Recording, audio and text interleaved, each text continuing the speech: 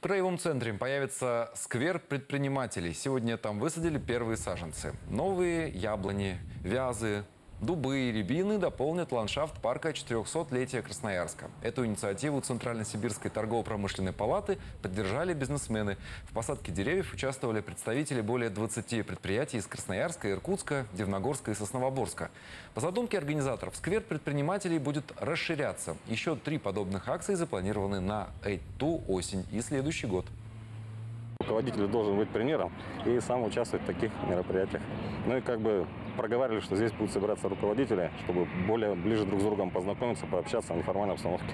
Потому что э, разные предприятия, разные руководители, ну, здесь можно пообщаться. Решили оставить э, свой след, чтобы создать такое вот большое дело и зародить такую традицию, чтобы бизнес не только он социально ориентирован сам по себе платит налоги, но еще и создает э, вот такую красоту, как сквер. Поэтому мы можем сказать, что объединило это все единый порыв, такое желание что-то оставить после себя потомкам.